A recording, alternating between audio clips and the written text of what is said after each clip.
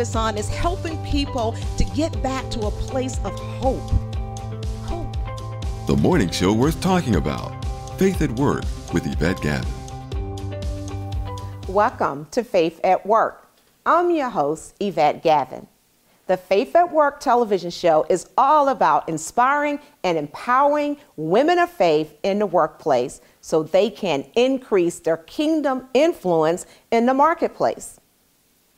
Have you ever wondered why the most skilled, the most talented person is not always the one that gets the job? There are several factors to selecting the right candidate for a position. Now, early in my career, I was promoted to manager.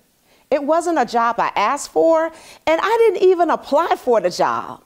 It was God's favor on my life. But one of my coworkers did express interest in the job. She didn't get the promotion. I got the promotion, and she became very bitter. She said, I don't understand why they gave the position to you, Yvette, because everybody knows I know this application better than anyone here. She went on and said it wasn't fair. Well, what I can tell you is that getting a job or a promotion isn't simply based on your knowledge of the job. See, I know I didn't know the system as well as she did, but I knew the system. I didn't need to know the system as well as she did because I became the manager. And as manager, I wasn't responsible for knowing every ins and out of the application. I was leading people. You may have heard the saying, people don't care about what you know until they know that you care. I love how in the Bible Ruth expressed this same sentiment when she told her mother in law, Do not urge me to leave you or to turn back from following you. For where you go, Ruth said, I will go, and where you lodge, I will lodge. Your people will be my people. Your God will be my God. You can find that in Ruth 1 16.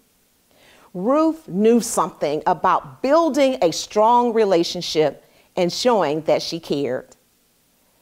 I learned how to build relationships with my peers, the cleaning staff, and even the senior leaders within the organization that promoted me over my coworker who had applied for the position.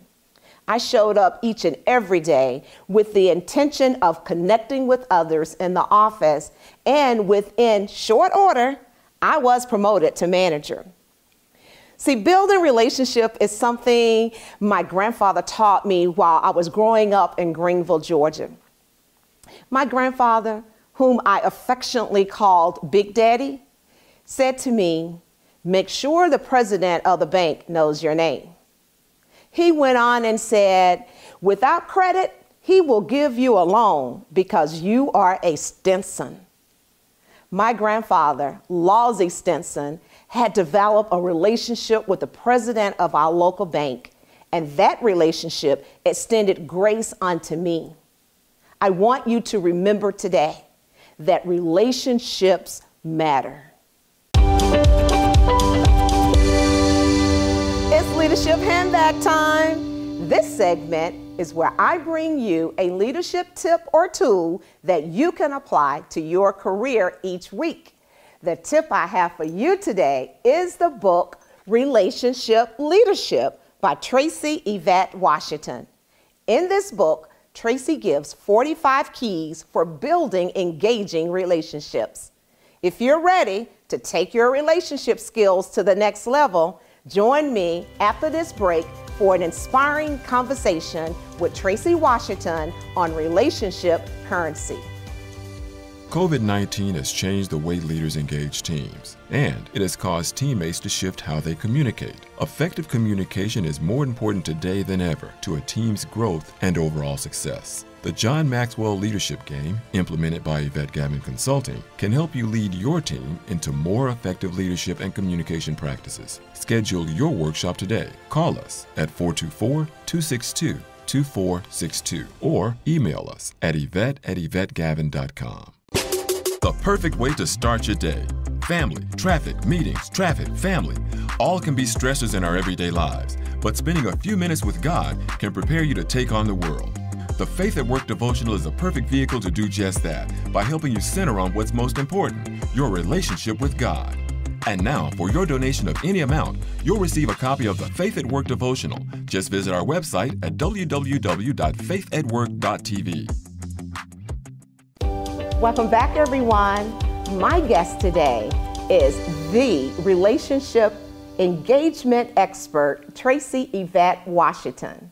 Welcome to the show, Tracy. Welcome, welcome, welcome. It's welcome so good to me. to have you. Yes, exactly. Thank you. Well, before the break, I shared with our viewers that you are the author of Relationship Leadership and that you are the creator, not just the author, but even the creator of this whole concept of relationship and, you know, engagement for leaders. Right. So let's start there about telling us about what relationship currency is and why is it important?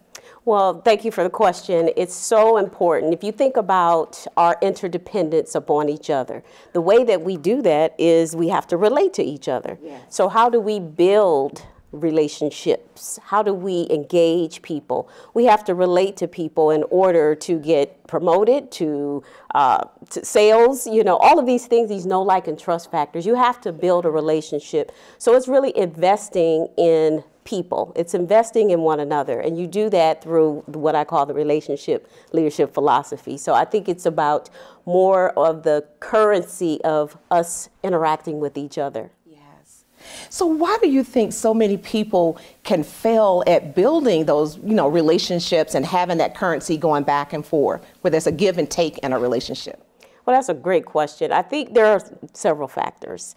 Sometimes people don't trust each other mm. because of you know issues or maybe some trauma in the past or just being done wrong by someone. But I think the part of building is is understanding that people are different. We're different. We come from different backgrounds, experiences. Um, we've had good times, bad times, and I think that hinders a lot of times us being able to open up to other people.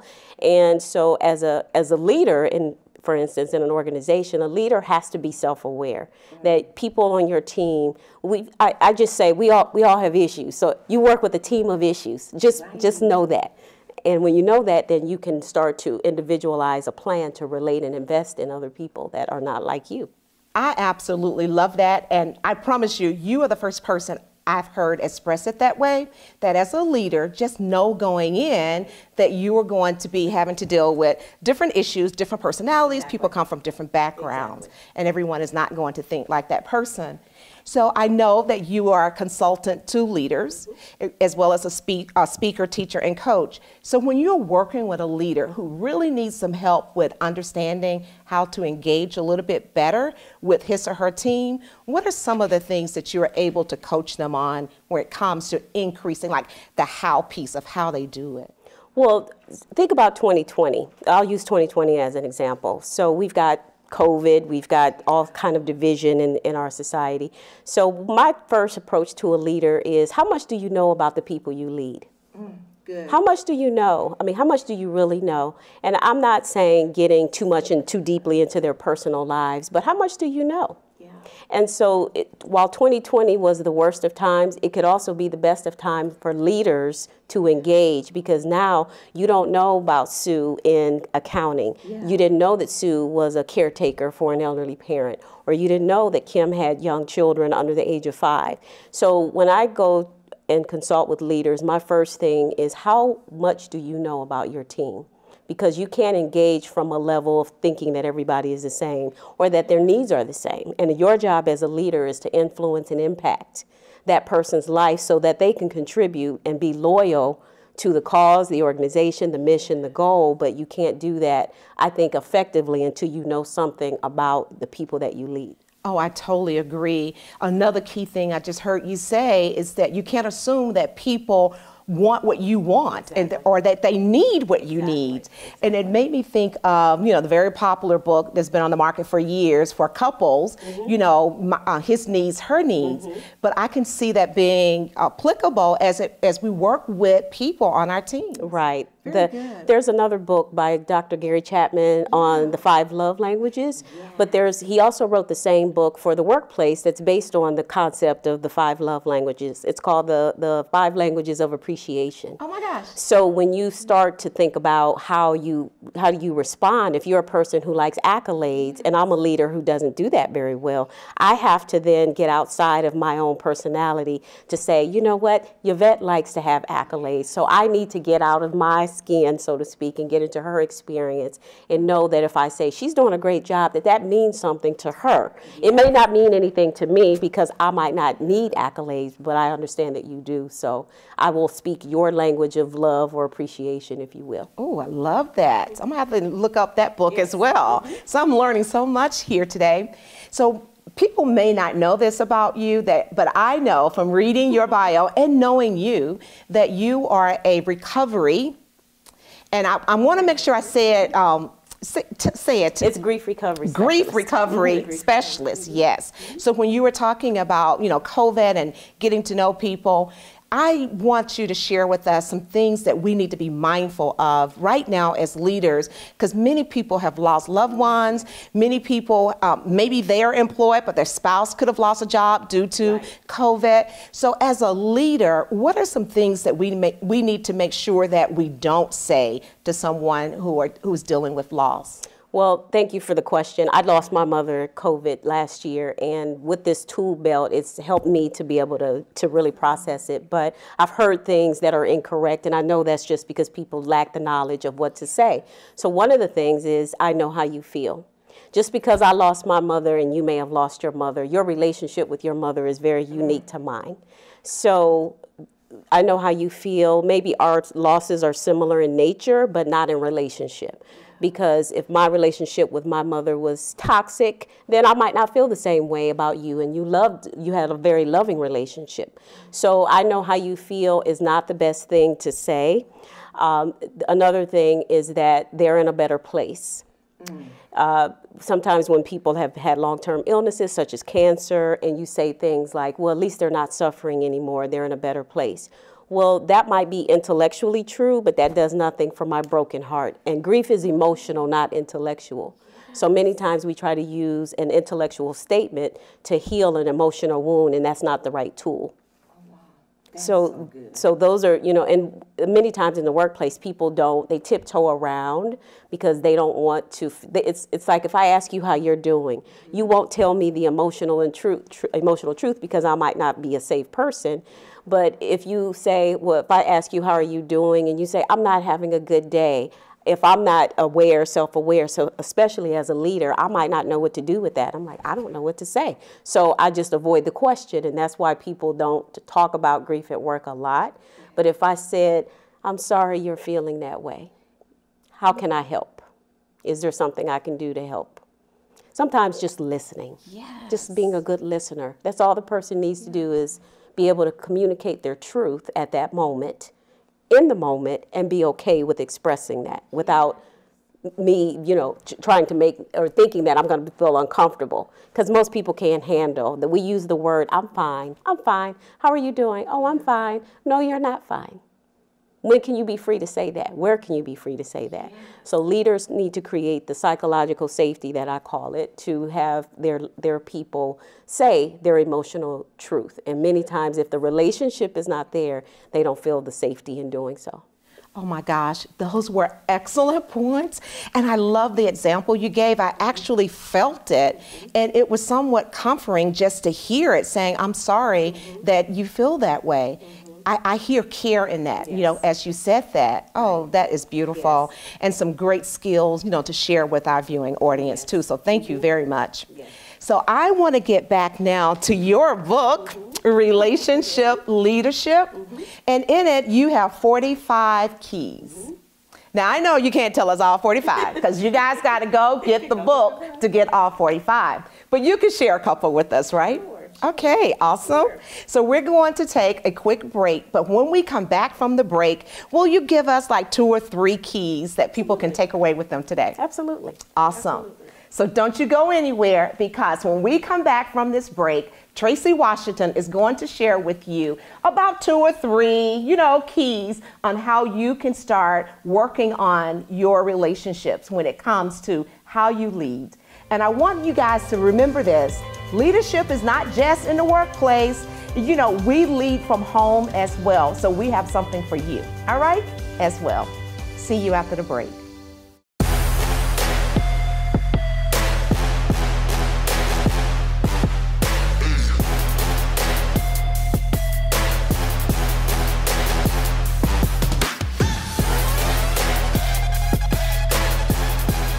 Executive presence has nothing to do with skill and talent. Executive presence is a measure of image. The perfect way to start your day. Family, traffic, meetings, traffic, family, all can be stressors in our everyday lives, but spending a few minutes with God can prepare you to take on the world. The Faith at Work devotional is a perfect vehicle to do just that by helping you center on what's most important your relationship with God. And now, for your donation of any amount, you'll receive a copy of the Faith at Work devotional. Just visit our website at www.faithatwork.tv. Welcome back, everyone. Before the break, I asked Tracy to share with us a couple of keys from her book, Relationship Leadership. So, Tracy, yes. give us those gold nuggets or the keys, if you will. Well, the keys I break down in the book into three sections. One is communication, yes. connection, and chemistry. So if you think about relationships, they those three categories embody how you relate to people. So in communication, under the communication section, build a bridge, not rocks. Yes, yes. So I think about a bridge as going from one side to the other. It takes you, it transports you. You get on the bridge and it transports you. So if I'm always coming over all the way to your side, mm. you're not coming to my side. You're not attempting to try to meet me. So we have to try to meet in the middle of the bridge. Ooh, I so love to make a qu quick example, if you have a friend or a colleague or a family member and you're always doing the calling, you're always checking on them and they're never checking on you. We have to build the bridge to them, but it's like I'm going to stop on the middle of the bridge and I'll be here. When you call, I'll be here. But I won't always come over to your side and I won't talk about you because you're not. Yeah. I'll hang out on the bridge and then when you're ready, you come and meet me halfway on the bridge. So the, in leadership, relationships, uh, family, friends, co-workers, where are we, instead of me always coming to your office, do you care about me? Oh, good Can example. you call me? Yes. Can you call me sometime? Can you email me and find out what's happening in my world? Or are we all just interested in you? So that's what the building bridges part oh, is. I like that. Yeah, that's where that yeah. came from because I thought, what's a great way to talk about that? So the next section is about connection. I have to care about you, not just say that I care, but demonstrate through my actions that I care. Not just say caring for and caring, because those could be two different things. Caring for people could be uh, an organization that has, you know, pizza and coffee. You can bring your pet to work. And it's like we care for our employees. But how do you know Ted over there? How much do you know about Ted? Do you know that Ted might be homeless, yeah. that he's barely living paycheck to paycheck. How about you get Ted housing? Yes. That's caring for, that's caring more. Ooh, caring for, more. It's caring that's more. Good. So that goes back to how well do you know your people? Yes. And Ted might be embarrassed to say anything because of the environment is not psychologically safe. Yes. So that brings me to my third key about chemistry about chemistry with people. We don't have to like the same things, but we do have to respect each other's differences. So part of the chemistry is how well, I think the test of a leader is how well do you get along or do you can you lead people who you don't like? Because I'm not the type of person that says, good. I think you like everybody. You know, I don't think that that's true. I think there are people in this world that you just don't like. Exactly. You don't like them. They, it- whatever the reason is, you don't like them. But how well can you care for them when you don't like them? Ooh, I like that. So- as a mark of a leader. Yes, absolutely. Uh, Because maybe if you just start to care, maybe you might learn to like them. Like them, yes. and even more, what you've been saying, if you get take the time to get to know them, maybe you would like them. Right. Right. Oh man, Right. Find I something to this. connect on. Find something that you can connect on. Yes. And build from there. You don't have to like the everything this person does, but find that connection point so you then can build from there.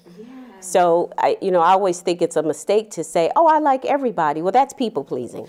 That's Ooh, different. Good point. Good that's that's different Yes. than leading because if I can't lead you, if I might need to confront you or to have some type of conversation, and if I don't feel that if I, it depends on what type of leader I am. If I'm the one who is afraid to approach you, I have mm-hmm. some fear of what you might think or say, I might not tell you the truth.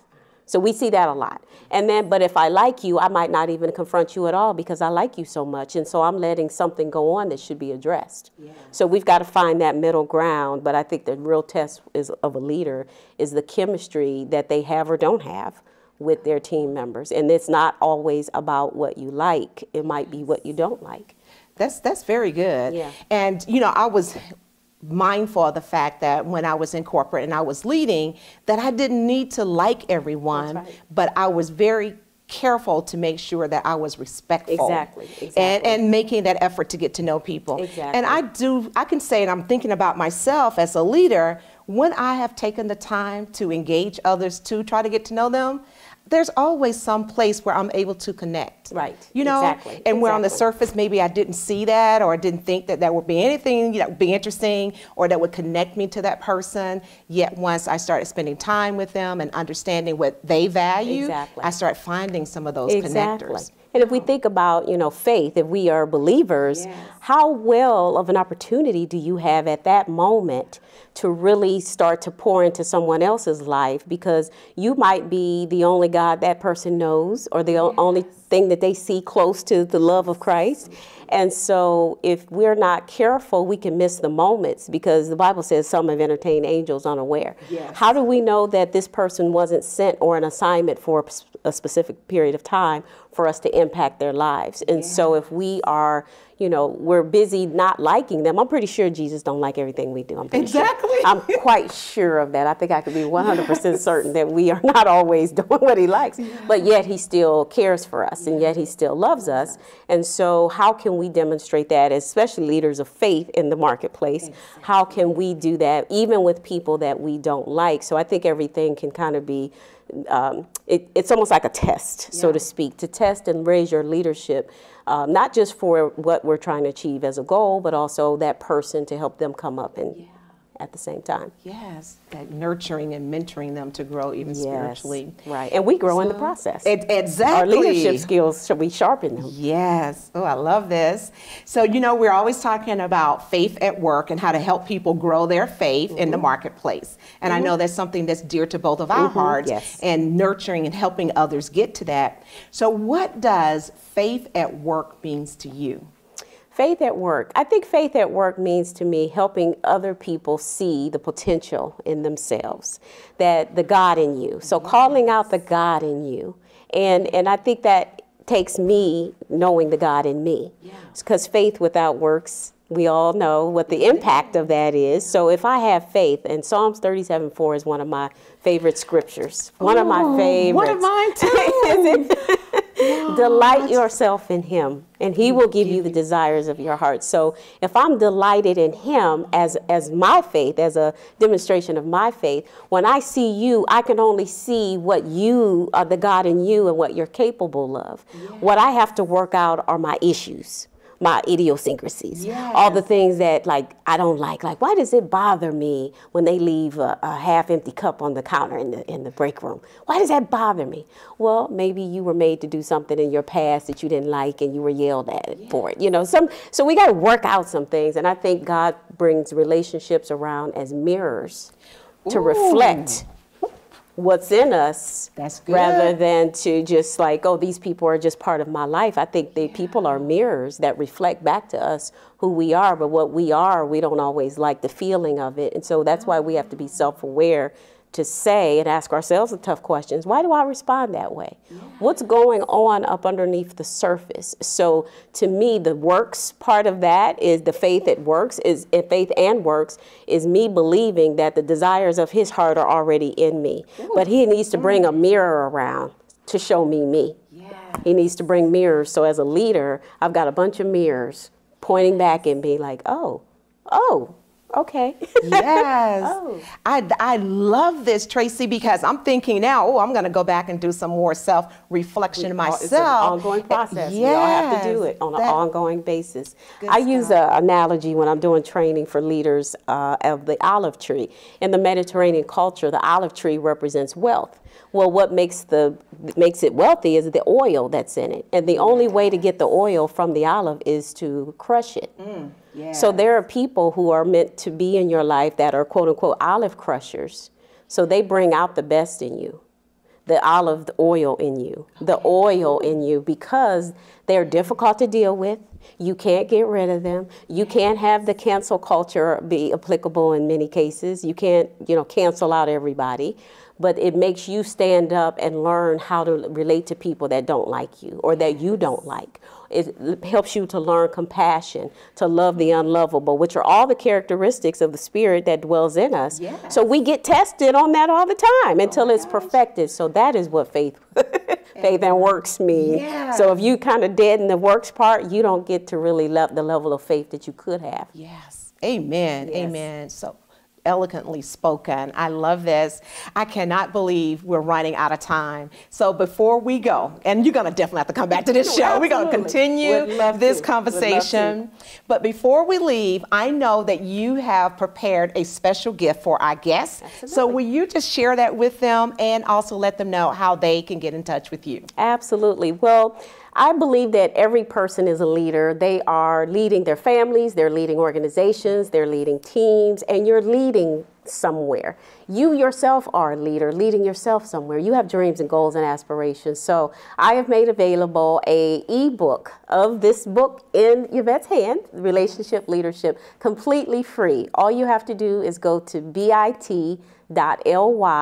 slash relationship leadership ebook and download your copy right from there. You don't need to opt in, you don't need to do anything. You can just download the book for free right there.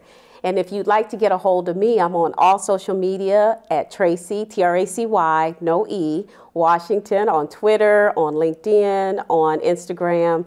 And you can also visit my website, www.getrelationshipcurrency.com. Awesome. Amazing. Well, thank you so much Thank for the special gift for our audience. Absolutely. I really appreciate that. You're welcome. Well, guys, I am Yvette Gavin here today with Tracy Washington, reminding you that faith, Faith without works is dead.